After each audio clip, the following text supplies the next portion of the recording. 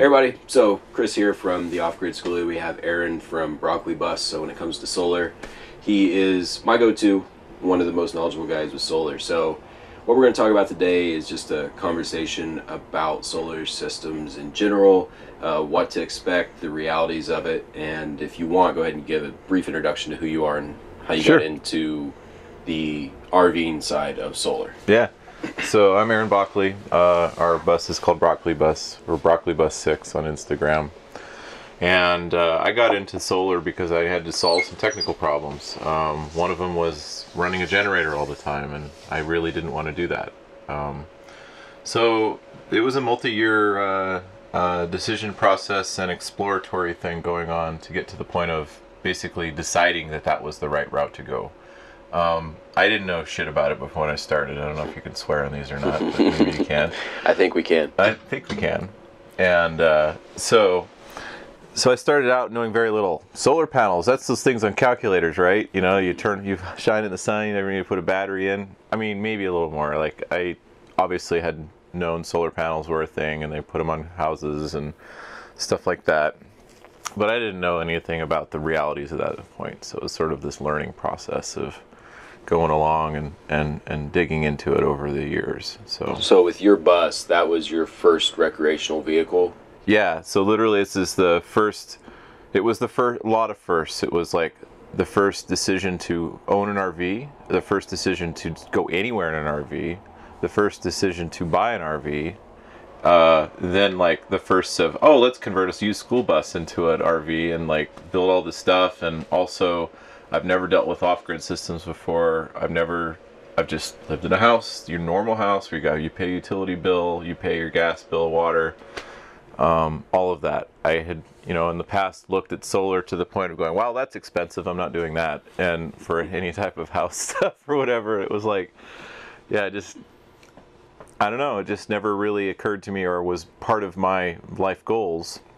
And then when my wife and I um, decided this was going to be a thing, I started really maybe not panicking, but getting extremely concerned about how we were actually going to pull this off um, not being plugged into RV parks everywhere. Because I mean, obviously, like there's millions of RV or hundreds of thousands or millions of RVs that are produced all the time. They're all made in what Indiana, Indiana's yeah. big hub for sure. Elkhart, and uh, somebody's figured out how this all works. And you look at most of those, they have like a couple token panels because, or none at all, and people live. But then when you start really looking into it, what they're doing, they drive from site to site and they plug in as soon as they get there. So they're more like, um, sort of- just enough to get you from spot to spot. yeah, just enough to spot to spot to spot. They have generators that run to provide the power for things. They have little battery banks to kind of supply the difference.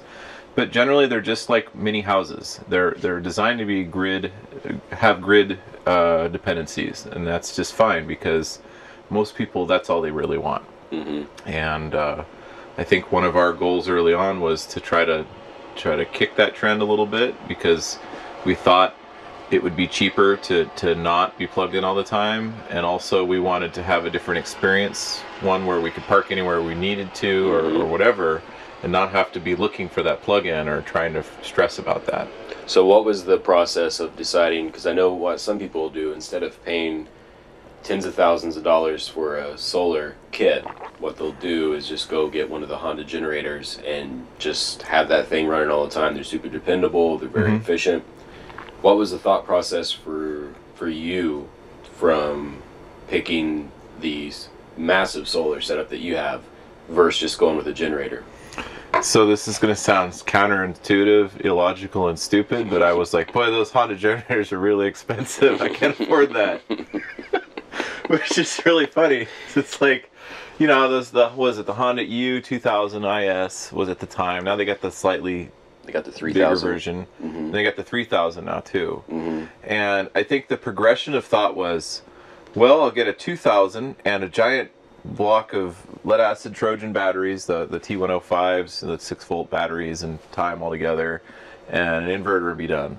And then it was like, well, that doesn't really work because I have to run the generator a lot. So let's get a 3000 IS. And then I was thinking about those. And then I kind of was like, I don't really want gasoline because the vehicle's diesel. And so then I started looking at diesel generators, and I was like, all these diesel generators are crap or they're hilariously over the top expensive. Like a true real so there's like two different classes of diesel generators you can basically shove into a into an rv that i've seen.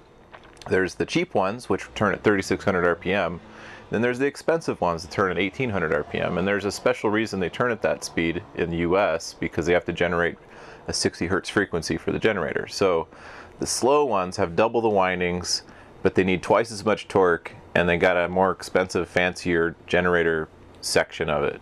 And those are nice because they're quiet. When they run really slow like that, 1800 RPM, they're really nice and quiet. Mm-hmm. But uh, they're like twelve, fourteen thousand dollars to start for a generator like that, and I was right. like, dude, that's that's a lot. Yeah, you see those a lot in the bigger, fancy class oh, yeah. A's. If you want a million dollar Class A coach, no problem. There's a big tray, they slide out, big green. Onan thing or whatever. Right and dude they're super nice. I mean they can run everything. They're 12 14 kilowatt generators. Did you ever consider actually going to an rv scrapyard and picking those up? You can get them for you know, four or five thousand typically right? Or was it more than that? There's they're still valued really high. And then when you get them in the scrapyard they're beat to hell with 12000 15000 hours on them. So it's like okay so you buy a generator for five grand and then now you're going to put five more thousand dollars into rebuilding the whole thing, and you're basically right back to brand new. It's like it's mm-hmm. it's that devalued cost out of it. Mm-hmm. Um, it's kind of like cars or buses. You know, go buy a cheap bus, and you'll end up spending a bazillion dollars to put it back to a state that you can really truly drive it everywhere. Yeah. That was um, my case. Three thousand dollars for this bus to get tires that it needed cost uh, thirty five hundred. Yeah, so it's like I know exactly how that is. I think in the just to not even talking about any of the livable, if I just if it was just a bus driving around, I've probably put about fourteen thousand this year. Well, this year and last year into the vehicle. Well, you had a massive in-frame. I had an in-frame. Well. I had a transmission rebuild. I had a differential or differential rebuild All replacement. And then, of course, when I bought it, I had bought new tires. So you tack all those together, and it's like that that six thousand dollar bus turns into a twenty six thousand dollar bus very quickly. Yeah. Very very yeah. quickly. So you decided not to go the generator route. What was the thought process of going into the Nissan Leaf battery? Uh, it know, wasn't a Leaf at first. It wasn't a Leaf at first. You had something else. No, I had I. So part of this is kind of like so my experience is not anything what to do with batteries, but probably technical specification. I worked in the IT industry for a long time and um, got into doing a lot of definition of services based on a business signal or demand. Like, oh, we need to host all these applications, and what do we need to do that? So you just start following the the the trail back to the fundamentals of it. So if you want to do this with this many people, what are the capabilities and stack requirements for that? And that travels all the way back. Uh, sometimes to physical requirements like an actual true data center mm-hmm. where you need to have power, cooling, physical space, you know, all the manpower, operations, all that stuff has to be specced out and designed. Sometimes it's cloud based, internet based, so you have to still figure out what all the, the OPEX for all that is because you're paying rent effectively for somebody else's data center. That's all cloud is, is renting somebody else's data center, abstracted at some point. So that sort of design process of looking for that was uh, kind of similar. It's like a design spiral. So it started out with uh, went from the generator mindset to well, okay, so what else can I use for instead of generator? Well, solar generating, like so I could put solar panels on it. And I was still thinking about the lead acid batteries at the time. And then I started really looking at the a number of lead acid batteries required to, to fulfill the requirements, the solar requirements to fill the requirements of lead acid. And you realize that lead acid is like, it's got, there's Peukert effects, internal resistance, all sorts of weird things that lead acid really needs to be successful. One of them is like, you basically treat them as a, uh, uh, load bank all the time, but you can't really discharge them deeply and fully without killing them really fast. So you start reading a lot of stories about people um, replacing their battery sets every two or three years. And then other people, there's always that outlier, that guy says, Oh, I haven't changed my AGM batteries in 20 years. And I'm like, That's because you've just been plugged in for the entire 20 years. And so it's like, Yeah, you know, there's some things. And so that started looking into like, okay, so if I don't want to run a generator and I want to run solar, I have to have this many batteries. And I realized that suddenly to get enough batteries to do the stuff I want was a lot. And that was actually super important too. I started looking at what are we really trying to accomplish being off road, and that was, or off grid, I should say. And uh, the the primary goal, honestly, was air conditioning. That drove it, and like that's the that's the Mount Everest of off grid living. Is that everybody says you can't run air conditioning, and then I think in the last couple of years, it's definitely changed. Like I think having these lithium battery setups and stuff has started to change that perspective. Mm-hmm. But um, like Technomadia was one of the um, early blogs in like 2014 that was they were trying to to do that in their uh, GM PD 4106, their Greyhound bus that they did. And they basically said, yeah, you could do it, but holy cow, it's expensive and it's not going to really work, and you got to do all these other things. And they had some very good, like try living in the shade instead of you know solving it with brute technical force. And uh, I've never I've I've always been kind of interested in challenges like that. So like as an exercise it was like let's see what it would actually take. And my numbers penciled out to be a little more actually than what even they had said. Um, as far as power requiring wire, power requirements system integration requirements, like how much insulation are you putting, how many windows, what's the R, the effective calculative R value of your enclosure, all this stuff that kind of started feeding into it. So that was this huge design spiral around why are we even bothering with doing off-grid power on a big, large-scale basis, and uh, that that was really. It took a long time to kind of figure that out and come to terms with that at some point, I don't remember when it was. It was probably like 2015 or 2016. I was in the middle of the build doing stuff, and uh, um, I, generators just went out the door. It was like, nah, generators is going to be a secondary thing. Maybe it's going to have to be something to augment a solar system. And at some point around that same point, it was also lead acids out the door. Like, no way, it's not going to happen. And as soon as you discard lead acid, the world's kind of like expands to this huge, crazy unknown of like, well, we're using nickel metal hydride, nickel cadmium, iron phosphate, LiFePO, you know, all these different chemistries available for stuff. I, I, briefly looked at hydrogen fuel cells just because, like, why not? You know, to tank a liquid hydrogen in the bus none of those were really realistic. And the only thing that I could find that was even remotely affordable was uh, Powerwalls. So I started looking at power walls. There's like a DIY Powerwall forum that was on Facebook and some other stuff that was out on the internet and other forums.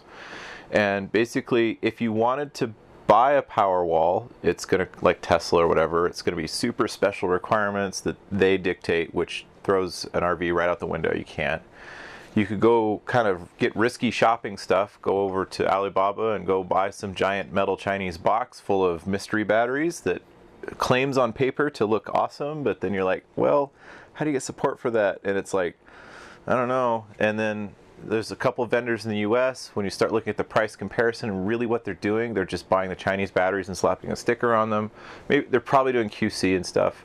At the time, Battle Born didn't exist, and uh, later on Battle Born did exist and but the price point was too high for me. Like to get to that point, it was like, man, it's just really expensive. And so I sort of fell upon um, EV batteries were kind of the, the correct form factor for me. In electric vehicles, EV. Yeah, electric vehicle, because of the similar packaging considerations.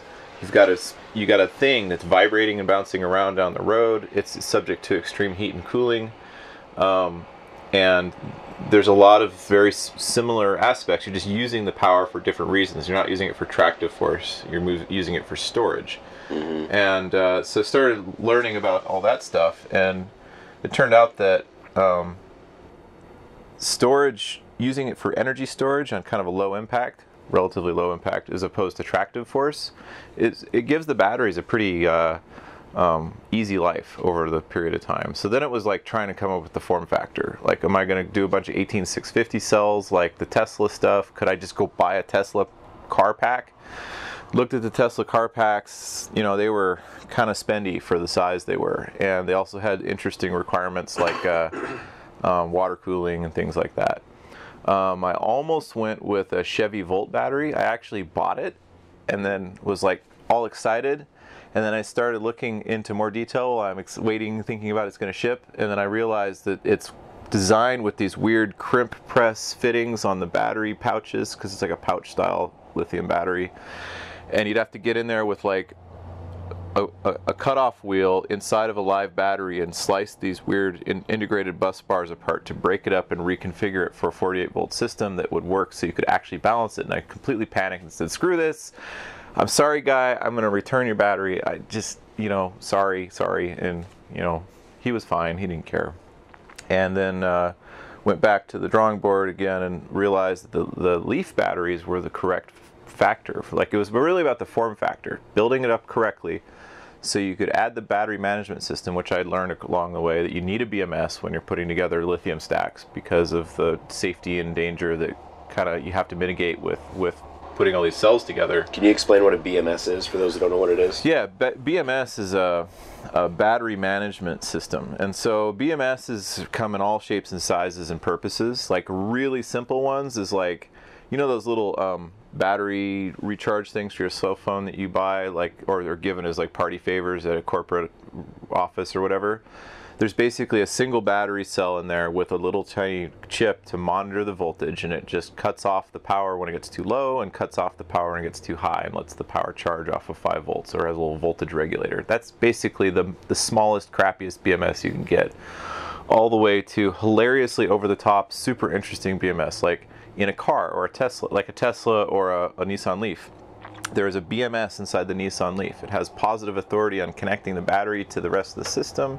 It knows the voltage of every cell inside of the battery. Like it has little wires tapped to every single lithium cell inside of there, or every pair of lithium cells inside of there.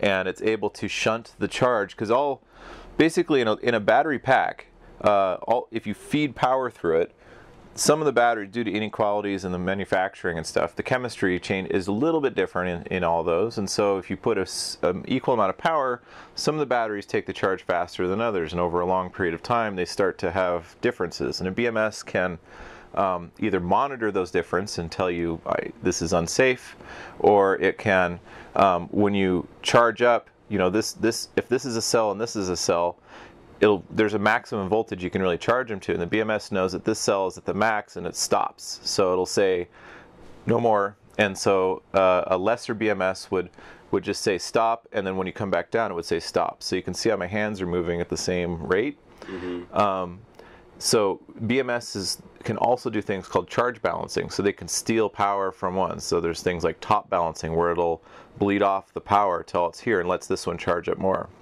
there's bottom balancing where it can go down here and it can it can keep discharge and then it can it can actually just discharge another one uh, until it's done in like your system with the Battle Borns, each of them has a BMS packaged inside of those batteries. And so if there's charge imbalancing, you don't know what's going on, but because it's built in a big grid, like a parallel parallel series or parallel, parallel grid, you kind of effectively like a weird um, bottom balancing system and top balancing because your batteries will discharge and when one of your batteries reaches the end of its voltage the other ones will discharge and this one disconnects itself. And so you have this this um, autonomous BMS grid array inside of yours. It's kind of interesting. So if you think about it from a systems level. So BMS is super important. There's a bunch of them out there REC BMS Batrium uh, I don't know there's a whole bunch of Chinese ones. There's all sorts of things out there. And so I realized that was super important. Um, right around that same time, I found, uh, um, when I really was thinking into, about this, I found Juan from beginning from this morning and started chatting with him and asking him a lot of questions about how he was doing it. And he was already he'd already picked a BMS. Um, I basically kind of went down the same route. I didn't exactly copy him, but it was just like the design. It was a parallel structure where it was like I looked at what he was building and I'm looking at how I'm building. I'm like, this is going to be the way it is. Like, this was the most optimal configuration for 48 volt battery storage system. And, uh, and that's the Nissan Leaf. that was the, ended up being the Nissan Leaf cells. They were relatively inexpensive. There's a lot of folks out there that um, that sell them and resell them. I think they're buying up the full cars and decanning them and selling them as individual modules, um, marking them up, you know, for that kind of price. Um, I ended up getting a full battery pack out of a, a demolished car or a, a, wrecked car. How much did you pick that up for? About twenty five hundred bucks for for the full forty eight cells, forty eight cans inside of that battery. Right. So a quick quick estimate. Say we're comparing that to Battle Born. for twenty five hundred dollars with your Nissan Leaf, how much, how many Battle Born batteries at 100 amp hours would you have to get the equivalent of your system? So that's a e- estimate. So I don't. I'd have to actually whip my calculator out because I don't usually work in amp hours. Amp hours are a misnomer nowadays. I feel like they're not. They're not. It's not invalid to use amp hours, but it's like it's difficult to calculate it because you could say amp hours at 12 volts and amp hours at 48 volts. They're two very huge different things. I could say 100 amp hours at 12 volts, which is what's isn't that what a ba- Battle Born Yeah. is? And I could say 100 amp hours at 48 volts that's at 48 volts that's four times the actual power so if you were to uh, do it a different way let me calculate this out here so um, you want to use watt hours or kilowatt hours so i find that's a way easier uh, number to, to digest so like a light bulb if it's two if it's a four watt light bulb or you know led or if it's a 50 watt light bulb that means that instantaneously that bulb takes 50 watts. If you want to run that battery for an hour, it's 50 watt hours. You know, if it's a if it's a thousand watts, it's one kilowatt hour. So if a thousand watt light bulb running burning for an hour will take one kilowatt hour out of your system.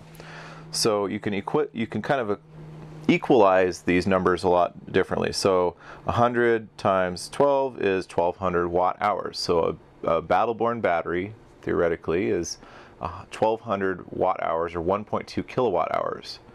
So the the Leaf battery, uh, as it's spec brand new from Nissan, is a 24 kilowatt battery. So that's the equivalent of you know 20 was it 24 divided by 12 is or no 24 divided by 1.2. So that's like 20 Battle Born batteries is what the 24 kilowatt hour Nissan Leaf battery. So you buy a full battery pack from uh, that's from a used car, uh, gently used, let's say. We won't talk about derating and, and all that other stuff yet. Just equi- equivalency to equivalency. Um, it's like having. So I paid twenty four hundred plus a five hundred dollar core charge, so three thousand dollars for that Nissan Leaf pack at the time in twenty eighteen. Um, a the Battle Born batteries then are uh, a thousand dollars a piece. So if you take, you know, that's twenty thousand dollars of Battle Born batteries for three thousand dollars. That's the price difference. But that's just the raw battery. The Battle Born has all that other stuff in there: the BMS, the safety, the packaging, the warranty. Ten, you know, ten-year warranty on that stuff. Um, and other battery vendors are the same way. They all package that in. So now it's like you start, you know, you look at the Leaf batteries, and you're like, oh yeah, that's a super awesome deal. I'm just going to wire all these batteries together, and it's like I'm done, you know. And then the, the issue is, is you start looking at like really what's going on with that. And you need the full package. You need the BMS. You need the infrastructure. You need the the the um, how is it assembled? Where is it put in there? You know, all those things. And then think about later, like when something goes wrong, like what is it if it if it your battery just stops working one day and you're like what happened? You don't have anybody you can call. You have to call yourself up and talk to yourself on the phone. Well, I think uh, what people watch this, their question with that would be, you know, rough estimate, how much, not including your time, you know, that's, that's a whole different thing. Like if you were having to hire somebody, yeah. But just your overall system, including the, the BMS, including all of the safety gear, including your total system, how much do you think you have into your your total system, or have have you have any rough estimates on that? funny enough i uh, was putting together a spreadsheet the other day because somebody I, I get a lot of people asking about this like they they're always hey i would love it if you could come out and design and install a, a solar system a, a, a battery. And it's not just solar it's like an off-grid system for me. And my answer unfortunately has been i would love to but i have a full-time job i have four kids my wife i have you know we're trying to figure stuff out and i don't have the space to build all that and i i would love to build them but i just don't think there's um, the space and the time and then when you start really looking into the cost of it like what would this actually cost a client a potential hypothetical client to do it? It's usually blows them right out of the water and they're like no thanks. So i put a rough estimate um, let's see here. I listed an oem pack. Like this is this is the spreadsheet. I'll just kind of read it off. So material cost just roughly three grand for the battery and then um, about I spent about twelve hundred probably on the frame. Like that's the actual all the metal work, all the hangy bits, the spray paint, the welding, the the bus bars, all that other stuff. And this that is goes DIY, or did This is DIY. someone? I Right. did this. So that's I just- built that's all just this. There's no labor here yet. Okay. So, uh, you know, reassembling the battery, like how much the you know what did it cost for all the little interconnects and all the shrink tubing and all the bits of wire and all that other stuff. The BMS. Um, so, twelve hundred for the frame, about four hundred bucks and and and random miscellaneous materials, including those fancy quarter inch thick copper bus bars, because when you when you run 48 volts instead of 400 volts, you have to account for the increase in amperage draw across the cells on those batteries because you're parallelizing a bunch of them. Um, the BMS is about 1800. This is US dollars. Um, that included, you know, because the BMS has all sorts of stuff. It's got a computer, it's got a, a, a contactor, it's got, um, there's, I kind of baked into that some relays and some other stuff, a bunch of other uh, data connectors and things like that, the actual shipping and handling, all that stuff that goes into that. Um, we won't include the solar charge controller for now. Um, but you know, there's a DC distribution panel for high amperage. It's about 800 bucks to build that thing with all of the parts and pieces inside of that, and figure the wire. I, I kind of figured in like the wiring because I used really heavy gauge, fine, uh, fine strand wiring to get that DC distribution to to work well. Because I got a the batteries here and the and the consumers are on the other side of the vehicle, so you got to run a run of about 15 feet between the two thermal and safety so like heaters and and fans to keep it not too hot not too cold fire suppression system so there's a halotron system inside of it to keep it if it if it bursts into flame uh, it's going to potentially suppress the electrical components from flaming on the battery you're you're basically fucked if a if a if a if a uh, lithium battery goes up in flames, it's gonna go. It's kind of like lighting. You can't unlight a firecracker once. You can't unexplode a firecracker once it's going. You know. Um, and so, you know, you look into that. That's just the battery. Um, I don't have it all broken out for the battery versus the the inverter system. But now you start looking at okay, so what can consume this power that you've now created or storing with this battery, and it requires a pretty substantial inverter system solar controllers. You need a AC distribution panel, a, DC, a, low voltage DC distribution panel. So, really what this adds up to is uh, it's about uh, let's see, about twenty eight hundred, twenty eight thousand dollars $28000 if you add up all of the inverters, all the battery, all that other stuff, just the materials. So I've No probably no labor yet. So I'm, I may be estimating a little high, but I know that I threw away a lot of crap, you know, ordering from Amazon or whatever. And this was also a learning thing because I had never done this before. So you know, twenty-five to twenty-eight thousand dollars is probably a realistic price for the entire electrical system in our vehicle.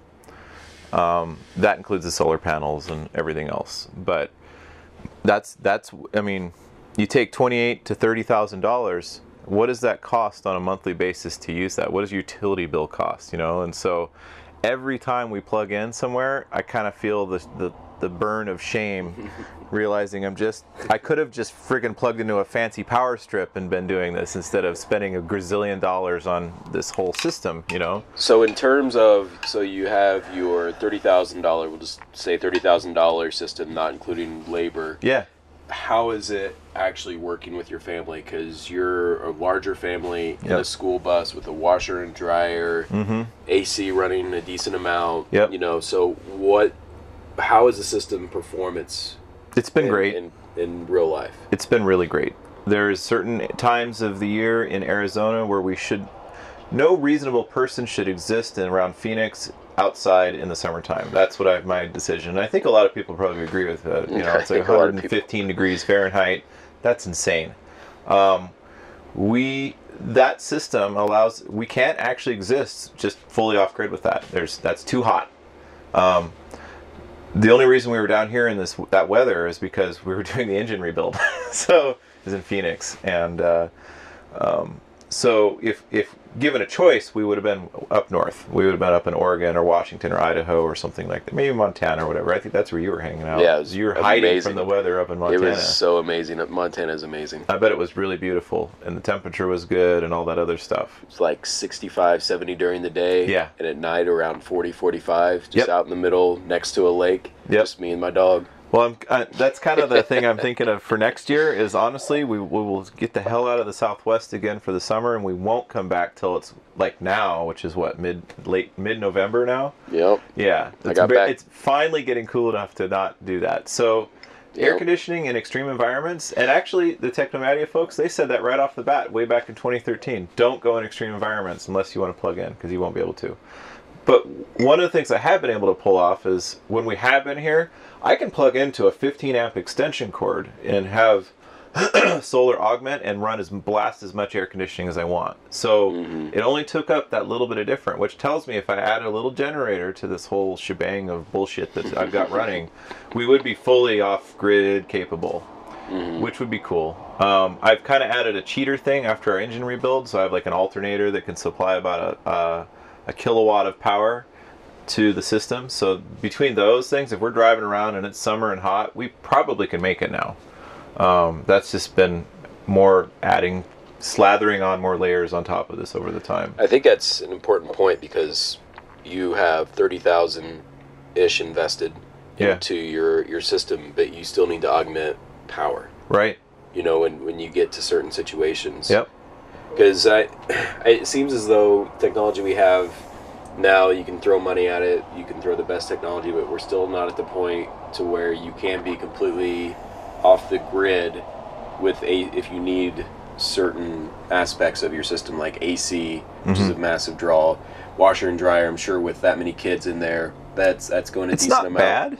It's like we have highly efficient ones, but you know, yeah, if we're running, I'm I'm more worried about running out, like wearing out the washer and dryer at this point because it's like we're constantly doing laundry than I am um, than I am like consuming the power. They don't really use that much power. Mm-hmm. Uh, we'll always run out of water before we can run out of power, basically with our with our washer and dryer. Right. So, So- I, I made a little bit of a mistake with my system. So I knew I was getting lithium. I was going to get 10 batteries, so 100 amp hours a piece, so 1,000 amp hours of lithium. I was like, I'll just go ahead and get a 1200 watt water heater. Yeah. But so far, that has proven to be a detriment to my system. Yeah, you know, I was going to point out. So not only the cooling side, like in hot environments, so we have a heat pump. Our air conditioning is not just a cooler; it can heat too. Right. And in really cold weather, it's a huge. It would be a huge mistake to attempt to run that thing as a heat pump generating heat. I know a couple people have done that. Um, heat pump mode on most air conditioners basically consume the max that they're able to do. So we have an 18,000 BTU unit, and when you put it in heat pump mode, it's pulling about one and a half kilowatts of power. Um, maybe eight, if you really crank it up to 90 degrees or whatever, I keep hitting that.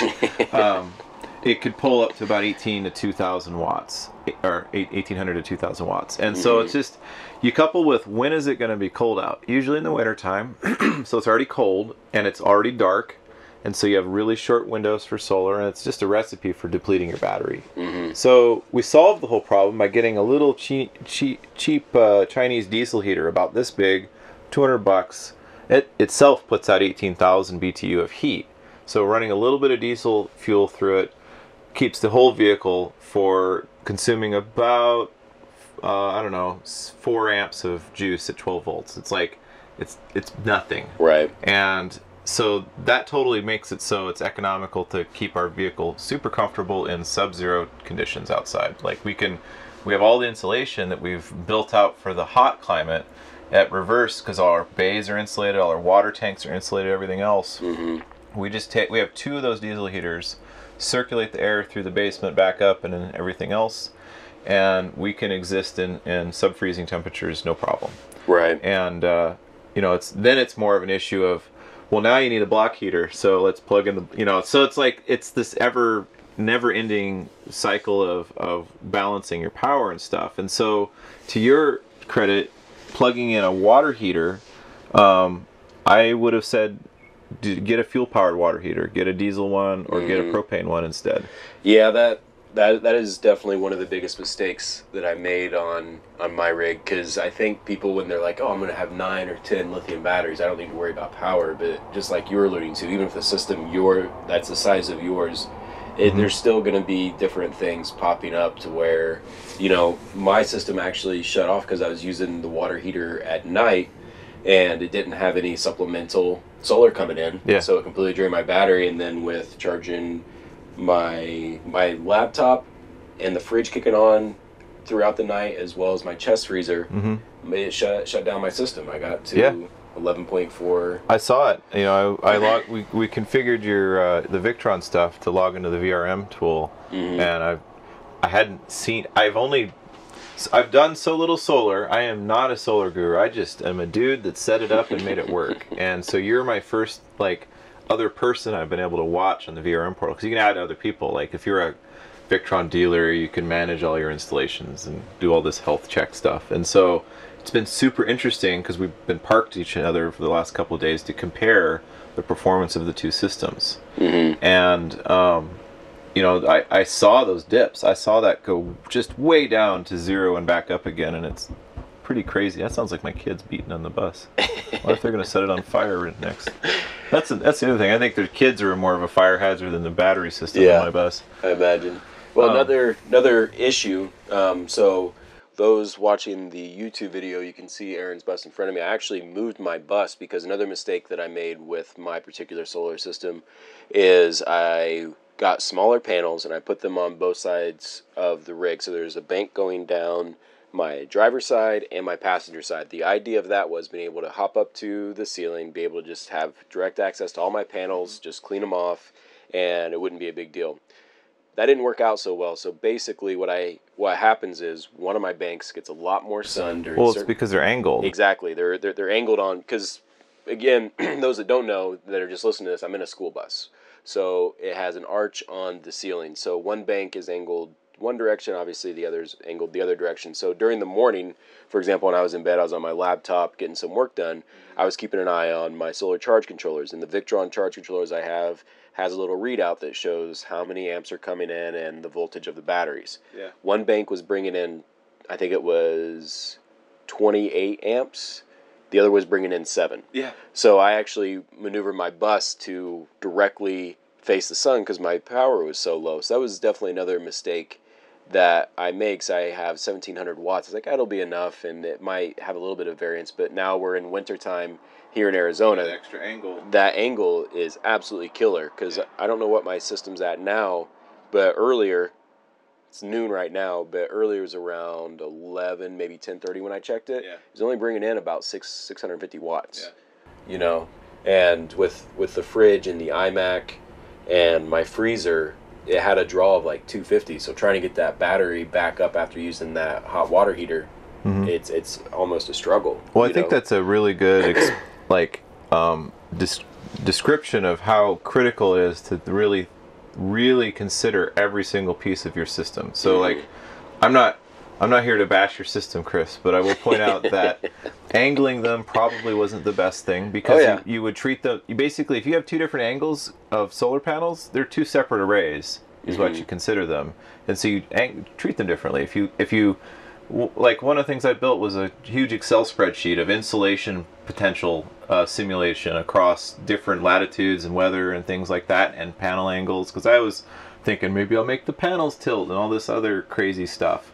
And I just settled on I'm lazy. I'm not going to tilt the panels. I'm not going to rotate the vehicle around because I may not have choices. So I'm going to lay them flat. It'll be a super compromise, but that's the way it is. Mhm. And uh, when you have two different panels, you can see as the curve of the sun goes throughout the day how those react and change. And so it's like it, you know, it's good that you have you you kind of fell into some luck with with putting that together because you have two separate solar controllers. You have a, a charge two charge controllers, one for each section, the one angled one way and one Mhm. angled the other way, so they're not fighting each other. right. Um, but you know that was probably not the best des- design choice in the world. Um, No, the other is uh, running a low voltage system. You know, you are only running a 12 volt system.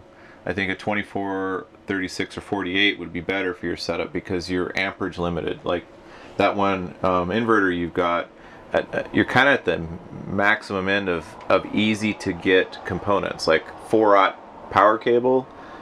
Once you go above 4 aught, you're just talking solid copper blocks that you're connecting stuff together effectively, Right. and those get really expensive. So it's like if you were to double your voltage, you could half the size of your conductors. So And- it's like Absolutely, because we, we talked about that. Yeah. And maybe I'll have to get with Battle Born, but they suggested sticking with 12 volt. And I don't know if that's changed. I don't know. It's a system compatibility thing. I think they were really worried about you being able to charge off that alternator. And of course, if you have a 12 volt alternator, you have to step up the voltage to something to Mm-hmm. get to 24 or higher. And what for, for those uh, listening, watching, so there is the option of actually charging your battery system, like most vehicles, just from your your engine. Uh, with this bus, it is a 12 volt alternator, so essentially, I'd have to add, which is what Wes did, I believe. He actually added a secondary alternator that is uh, 24 volt, I believe, or it might have been he 48. bought a 24 volt alternator. Right. So Yeah. that that alternator is directly connected to his battery bank because he didn't go lithium. Yeah. He went with uh, I believe it was lead acid. Uh, he went. Well, yeah, he went with uh, H Spiral AGM. Yeah.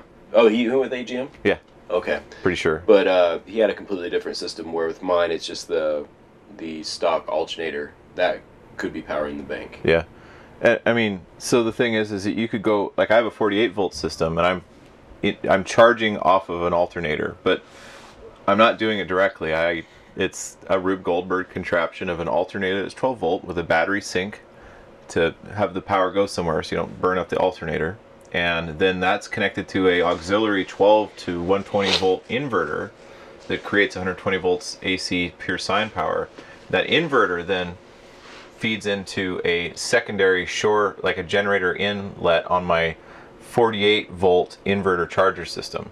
So there's an inverter that's simulating uh, like a generator and then feeds into the standard charging system. So it's all regulated and managed in that same system.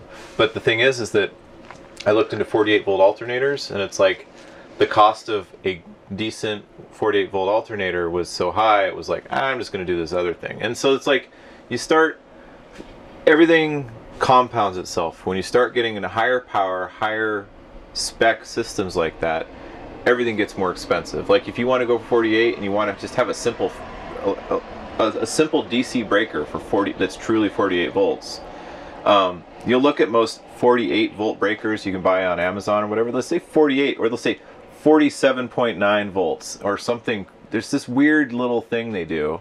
And so basically to get a true 48 volt breaker it's like way more expensive because you're arc quenching the voltage the, the higher voltage can make big sparks and stuff especially with dc and uh, so like a, a 48 volt system nominally is full full charge on a battery storage system at 56 volts so actually you need something that's rated at least 56 volts for a breaker and realistically you'll find them rated at 70 or 70 or so volts or, or more so to get a dc breaker to just simply trip a, you know to be a safety for a piece of wire going to something instead of paying 10 bucks for a 12 volt breaker that you can get at AutoZone or you can get at Amazon, you're paying $100 for a breaker. And it's mm-hmm. like to really do it. You know, I've seen people, they, they go, well, I'll use this AC breaker. It's rated at 120 volts or 240. I was like, yeah, AC, not DC. If you actually try to use an AC breaker on 48 volts DC, it would just set on fire potentially because what'll happen is it'll break the contact and then instead you'll just have a little plasma a a big huge continuous arc like a welding arc going across that until it finally quenches the spark by burning out the breaker you know it's like i there's just a it, uh, as soon as you get into higher voltage systems and and by that extension higher power systems it gets really expensive like i just I don't know. There's no other way around it. You could build them cheaply, which usually it's like that engineering trifecta of safe or uh, cheap, good, and fast. You get to pick two of those. Mm-hmm. Um, uh, you can kind of replace good with safe. It's kind of an interchangeable thing. I've seen high voltage systems that I would probably not want to place any of my valuables in or near, and I've seen ones that were really inexpensive, but they took so much effort from that person. Like they literally traded materials for time. They built all the pieces themselves, or they scavenged them from stuff everywhere, and it's like it took them years to build it because they're pulling things from old telecom systems or all sorts of things. And now it's like the only person that understands or will understand how that works is themselves. And, and that's something that my system has sort of drifted towards is like, I've got an engineering book. And when if, if we sell this someday, it's going to have a full man. It has a full manual and everything with like how it's all put together. It's put together with relatively industry standard parts and stuff, but it's still complex. And um, any way you slice it, a high power system, the complexity goes up higher and all this other stuff. And so there's like, you got to really decide whether that's going to be useful for you. Um, you could take something like this, chop it in half and make it a 24 volt system and make it a lot less expensive, but you lose all the capability. Like you're really going to run 18,000 BTU of air conditioning, washer and dryer and all this other stuff and support the kids. And, you know, I think the thing is, is that there's nothing wrong with doing that. You look at uh, the marine industry for like yachts and boats and things like that. It's that's kind of where my background lies and in seeing this stuff before, uh, not working on it, but you know being exposed to it, being around it. And so I kind of copied that model. And you look at yachts and things like that, and yeah, that's what they are. They're just like this, and they in some cases they're still simpler because they have the luxury of using all those lead acid batteries for ballast so right. they can they need the weight. And so i can't have any of the weight on ours you know whenever you're driving a rig around like this. So, so, what's the sweet spot man for people that are you know thinking about rigs they're wanting to go off the grid? I mean is it you're going to be paying your money or you you'll have to get something that's not too safe? Or like what what should people be looking into if they're looking to go off the grid, not be in RV parks all the time, but they don't have the money to, to shell out for this stuff. I'll tell you my competing, this is my, my leading theory right now. And the leading theory is this. When you go to a sporting goods store and you see all that cool shit at the sporting, sporting goods store, you see all the, the tactical shit if you're into guns, or the super awesome and neat stuff if you're into guns, or maybe it's the, the fishing pole with the bazillion things on it, or like all that hiking gear, that sub-zero climate, and the awesome shoes, and all the equipment, and all that stuff. You look at the marketing on it, and you look at how it's put together. You see some guy climbing, like you know, K2 or Mount Everest or whatever. Or they see some dude in Antarctica using this thing. It's like, oh, that's for me. If it works for that guy, it'll work for me. It's this human disposition to um, assume that I want the very best Mm-hmm. And if you want the very best, you're gonna pay for the very best. And in most cases, the marketing half of all the stuff you see, as far as power, RVs, anything, they're always telling you it's the best. The reality is, it's always an engineering compromise all the time. It doesn't matter what it is. There's always an engineering compromise in anything. It doesn't matter if it's a space shuttle. Well, the space shuttle is just a huge engineering compromise. Let's not talk about that one. Um, uh, maybe uh, SpaceX is a pretty awesome thing. It's you know they got landing reusable rockets, but those are full of engineering compromises as well. Um, I'm not comparing our, my vehicle to a SpaceX rocket, but I am saying that anytime you're considering what you're truly really going to use it for, you have to be very honest with yourself.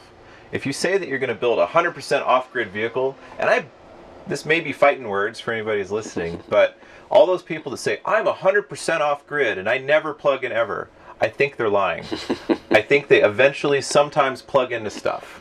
When, it, when it's available, I'm sure. And and it, more importantly is if they can honestly say they've never plugged their vehicle in because it's fully off grid, it's likely that they're compromising in some other way because they're totally okay with um, hanging their clothes on a clothesline, washing their clothes in a bucket, uh, cooking with gas only and living right. in the dark with candles. Like that's there is nothing wrong with right. doing that. Like it's totally fine, but that was that's not a way I want to live, and I think a way a majority of people want to. live. So you have to be super honest about what right. you're really going to do. Because of that water heater, I've taken my full a fair share of lukewarm to cold showers. Yep.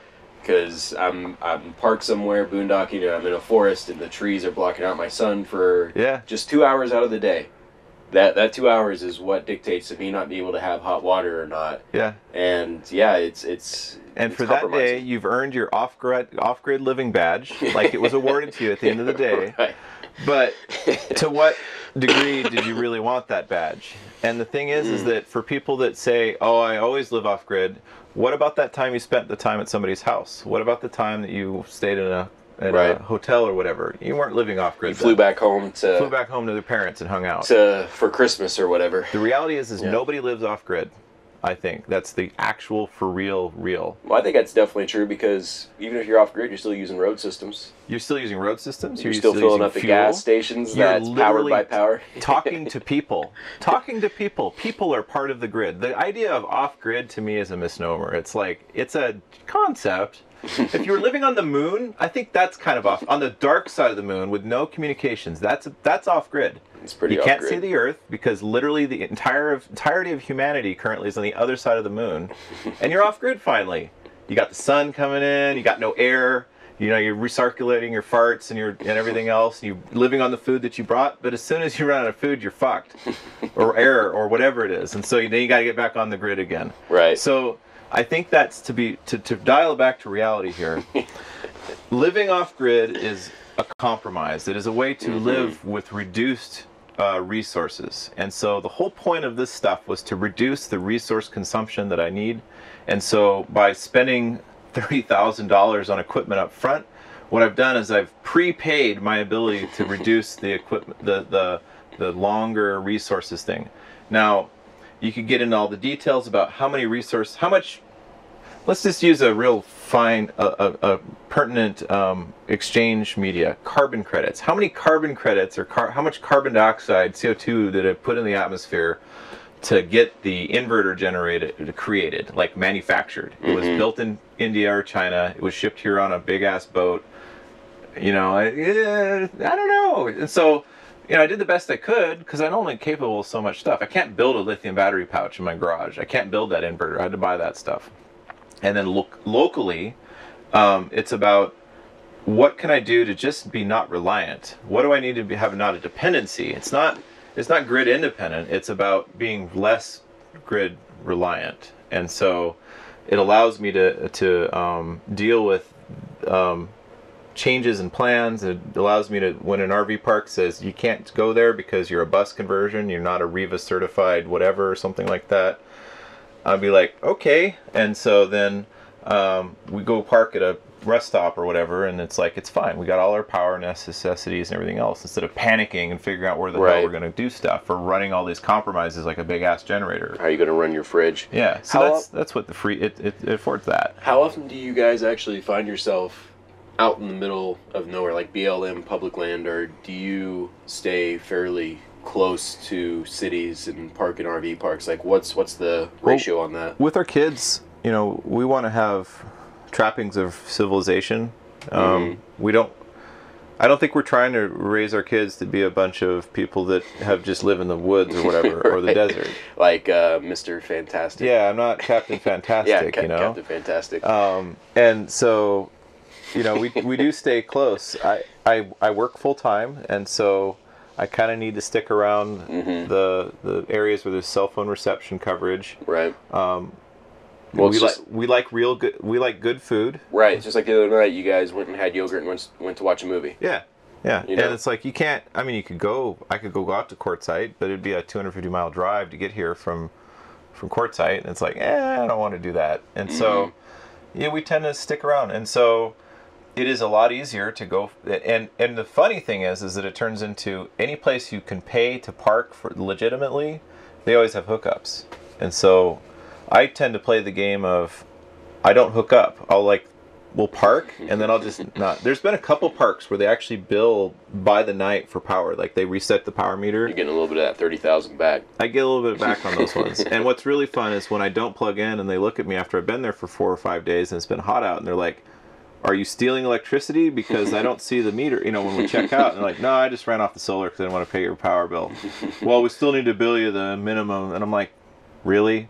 I never plugged in. It still says zero on your meter, and so there's this. Charging for pets, charging for Yeah. your tow car. They're yeah, always getting those little extra ding all those little things in yeah, they, they, they, they want their money. Right. And so, um, and and to be honest, we need water, and water is a grid thing usually. Like I have it set up, I could go suck water out of a river or something and filter it on a micron level for cysts and all that other stuff. But bacterially, I'd still need to treat it, and you know, it's like, do I want to do that? No, it's a pain in the ass. It's way easier to find a water spigot with potable water and just fill it up. hmm So there's there's sort of a dependency there. Like we don't stray too far until if, as long as you can find water. That's kind of our other thing. And so yeah, I I'd say it's like 50-50 right now. I'd love it to be a more higher percentage of of uh, off-grid stuff because it's cheaper. Like it doesn't cost as much. At this point, the the power infrastructure is a sunk cost. It's like a giant hobby slash toy slash living inside of it sort of thing Right. because we can. Right. Um, I still find joy when my kids want to toast a bunch of Pop Tarts or whatever in the morning, and they don't worry. We don't worry about the power. Like, oh, is the batteries high enough? No, it's fine. You know, they don't worry about it. I do. I'm always worrying about it. Right. But to watch them make, you know, I can make coffee, make toast, do TV, laptops, all their computer stuff, the schooling, all that other things. There's never been a worry about that. And I think that's the thing that has really been the most valuable out of all of the stuff that could be done is that we can le- live a relatively normal um, to what we've experienced before we moved into an RV or a, bus uh, life without having to worry about all of the the um, logistics of getting to being normal again. hmm So we can be parked in the middle of a wash in Arizona, in the middle of nowhere in the desert, and it all still works. And that's probably that peace of mind is extremely valuable. Um, I went through that sort of with the engine rebuild. I just had a leaking head gasket, but ended up doing a full in-frame rebuild. And uh, the peace of mind of going through the whole damn motor and putting it back together again is was totally worth the extra money spent doing that. hmm And uh, I think in this case, there was peace of mind knowing that I don't have to worry about all this stuff. I don't need to be concerned about plugging in. I don't need to worry. Has the generator been serviced? Is are the batteries not charging right? Is you know, or whatever those things are. Right. So there's sort of a it's a it's a soft cost that you can't see. Well, and you have more incentive being that you have, you know, X amount of people that completely depend on that bus as home. Where if that, if something happens and you actually have to move out, yeah, paying for a hotel for an entire family, like it's just, expensive. just dealing with all that. Where it's a lot easier for me to where if something happened with the bus and they're not allowing me to park like living here, I can literally just take a sleeping bag and put it in the back of my car. Yeah, Take some canned tuna, yeah. and I'm okay. When you got my wife, four kids, two dogs, and a cat. we recently got. It's like, yeah, I totally understand that peace of mind. living like- a lot closer to the edge that way. Mhm. And in some cases, we're riding with more risk than you are Oh, because of that. And so th- there's a that's question. there's a risk there's a risk mitigation factor to this. And so to go back Mm-hmm. to the like, can you do it with less? And what I was saying about being realistic, it's really asking yourself, what are you really gonna do? If you really, truly, really are gonna be living in the desert 95% of the time, you're going to want to spend all that money and build that thing out. Or really, what you'd probably do is go find a piece of property and build a shack that's off grid and you know build an Earthship or something like Right. that. But um, the the reality is is that most people do connect up a lot. They do stay in RV parks and stuff a lot, and to try to if the closer you can build out your system spec and design to your actual um, activities that you will be doing, and it's tough to predict the future because you don't know what you're going to do. just like the changes I'd make with this. Right, just the changes here. Um, the the the more satisfied you are. It's like kind of like um, the um, what's the phrase? The when you have a difference in expectations to reality, the farther the potential is for that, the more unhappiness there is in things. Mhm. When your expectations are exactly right on with reality, usually you're at the happiest. And that goes for so many things in life. It goes for if you've got a customer that you're doing business with, uh, goes with your partners, it goes with people you talk to, any activities. The farther the expectations from reality, the more it's going to suck. And so if I had built this crazy off grid thing and we literally just couldn't go anywhere and we're parked in a uh, um, in an RV park for 365 days a year, I'd have been really disappointed. It would have sucked. Absolutely. What was the point of any of that? Um, if I had built um, three batteries wired together with alligator clips and a single solar panel and a big loud uh, Harbor Freight generator, and we lived off grid 100% of the time, that also would have been like we would have been living the life of off grid all the time. But I'd be filling up the fuel all the time and throwing away the generator every three months because it'd wear out and get another one. It's like, ah, Jesus, I don't want to do that. So it's it's that compromise. So, in retrospect, do you like with, with if you can get your thirty thousand dollars back and you pay three thousand dollars for a Honda generator that lasts a year and it's just on consistently, would you go the, that route with the Honda generator? Or are you happy with the? I the love route? being completely silent. The only thing I hear is a slight hum of the in, of the inverters doing their work occasionally, and there's a cooling fan that comes on once in a while. Mm-hmm. I get tremendous joy out of making a cup of coffee in the morning, knowing that it was 100% heated up by the sun. How cool is that? Like, right. there's I, I, I sort of get annoyed when I'm running the clothes dryer because I could just hang the damn clothes outside, but you know, because the sun the, the dryer's running off the sun too. you put in the extra effort, so why why, I why not the enjoy effort. it? I don't have to hang a string, and sometimes it's raining out. You know, it's Yeah. like so. There's it's like that. It's a quality of life thing, and so uh, you know every. I like the fact that my cell phone, when I use it, I get to walk. It's like a little knowing in the back of my head. Mine runs. I've got a solar powered cell phone, you know, or a solar powered blender, or a solar powered anything. Yeah. Technically, it's solar powered, and I can prove it because we never plug in in those cases. Mm-hmm. And I, I don't know. It's kind of like uh, it doesn't mean anything. It's not. It doesn't really make any differences in the way anything works or whatever. But it's it's there's some pride in that, Mhm. and that you're doing it, and I think that's there's some value in that. You know, um, I think that more importantly though, you have to decide. There's all these factors that go into this into play in this. Like it costs this much.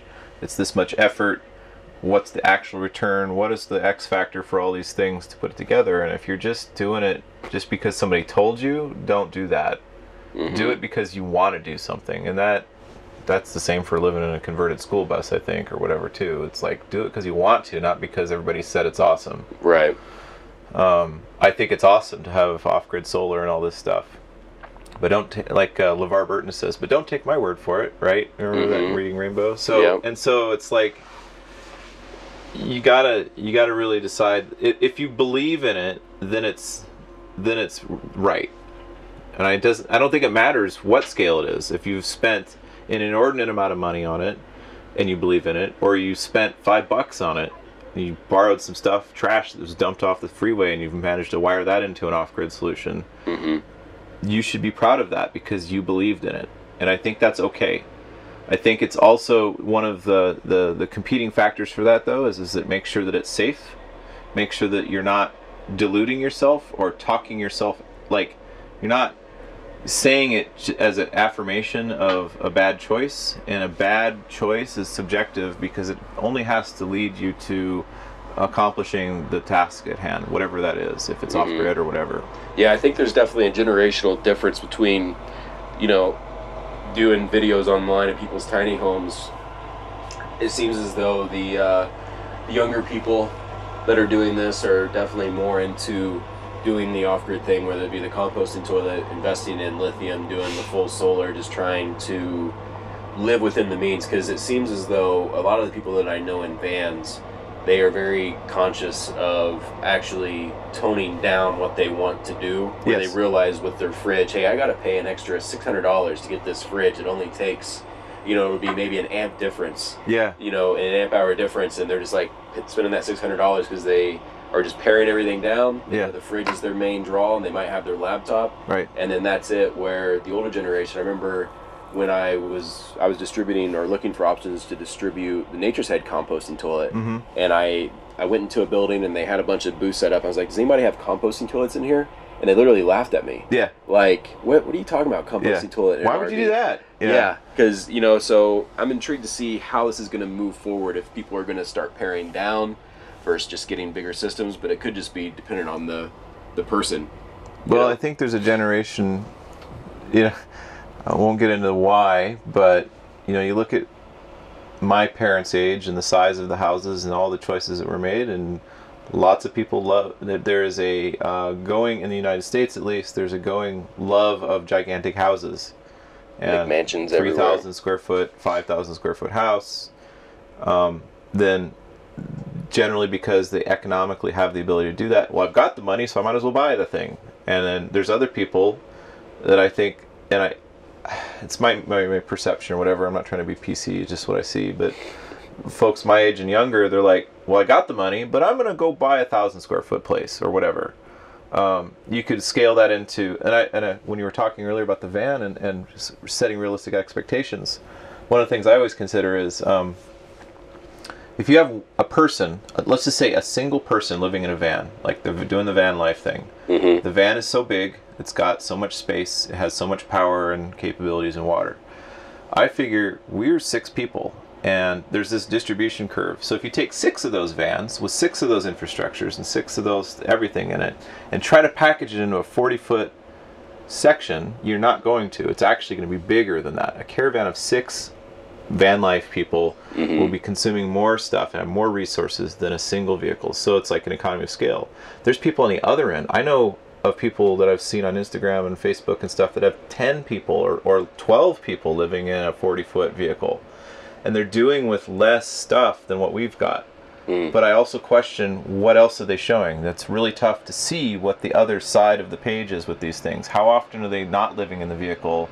How are they staying at family or friends or they're just using it for uh, Instagrammable photos, Yeah, Instagrammable photos. take it out for the weekend. Right. So everybody's leading their own life, and so don't ever like. That's maybe another piece of advice: is don't ever just try to try to carbon copy somebody's life that you see on on social media because it's not real. It's always the highlights. Yeah, it's always the highlights. And I found that when I post realistic stuff, nobody ever clicks like on my stuff, and then I don't get that little endorphin rush of somebody clicking the like button. They're taking it so- away next week. Yeah, and it's it's like it's kind of sad a little bit. I don't Inst- get that. it- you won't have to worry about it. Instagram's taking it away. Yeah. So, I think in, in you know in summary, a big solar system's super great, but uh, it's kind of expensive and a huge pain in the ass, and you got to really want it really bad, hmm and you can make do with a lot less, but it's you know you don't want to do too less because then you'll be feeling shitty and whatever and unha- uh, there it goes again. You gotta, Um, gotta get it in three yeah, times. gotta get it three times. um, so it's it's that it's that being I think it's be realistic about like truly realistic like some soul searching is required. It's not a decision you're going to make in a week. It's like think about it over terms of a little longer than that. Mhm. You really want this or not, and being honest about your capabilities and what you can pay. Um, you know, you don't want to build you don't want to build the equivalent of a 4,000 square foot house when you only have yourself living in it. Mhm. You don't want to build a 600 square foot house with 14 people living in it either. So it's somewhere in the middle. And for our comfort and desire and my proclivity towards nerdiness and knowing how this stuff worked, this worked for me. I can take care of it, I understand it, I can document it and describe it to people. Mhm. Other people that don't know, um, they need to either decide what is your immediate journey going to look like? Are you looking to get on the road right now? Are you doing it in four years from now? In four years, you could learn all this stuff, no problem. If you're trying to get done next week or three, three or six months from now, you need to change your mind, or you're going to pay a lot of money, and Right. you won't understand it when you're done Right. and you'll have to then learn it afterwards. So it's all about deciding those factors, and I think you know that's there is no true answer. Like it's not sol- small solar isn't the way to go, and gigantic solar isn't the way to go. It's every single person's situation in life is unique. We're all we all want to be different, like everybody else, and so the thing is is that there's generalizations that you can make there's a bell curve of approaches and so you find where you're at on that curve and you find where the the population generally agrees with you and within that subset of that curve and then you can go ahead and commit to that sort of thing and, and make it work. But to say that there's one way to do it no. There's infinite ways to do this stuff. And so um, the only the only stand the only thing that's constant is the variation of all of that i think. So, So- basically, do your research, figure out what you you, really to do your need, research. and be more than willing to scale it down to actually change your living situation to fit better what the realistic goal is. Yeah, be very realistic and think about all of the aspect of those choices. Because the you know when you're taking a shit in the dark with no hot water, uh, nobody likes that. if you have a heated toilet seat and uh, all the lights on and TVs and you're just setting electricity on fire in your vehicle because And it's midnight. and it's midnight And in, you're- in Alaska. and, and you're drinking your cold beer from your solar powered refrigerator. Yes. then um, you're probably living life on the high, but that's also an extreme luxury, so you're paying for that somehow. Yeah. Yep. So it's it's finding that middle ground, always. Awesome. Well, thanks for your time today. Yeah. Part one.